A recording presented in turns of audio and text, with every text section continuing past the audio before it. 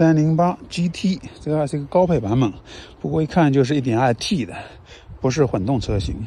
然后后面是一辆五零八 SW，再一个 C 三 Air Cross。哟，路边居然有一辆起亚的索兰托，嗯，是一个混动 HEV 的版本，好像它还有 PHEV 吧？看一下，现在这个全新的胜达也上来上市了，胜达比它的定位感觉要高一些哈。这一辆插电混动的三零零八，现在电动版的全新一代已经上市。然后再一个 C5 Air Cross，这个还就是个老版本的。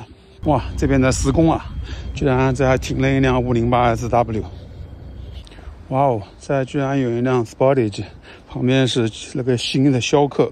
这两辆车在欧洲都属于产品力极高极高的。哦，刚刚过去一辆五零八 SW 白色的。然后在路边又停了一辆，啊，这辆就是刚刚拍到的那辆，怎么那么巧啊？途胜，然后新起亚，后面还有一辆起亚 C 的旅行，DS 七，当当当，我的小绿，今天他们停在一块儿。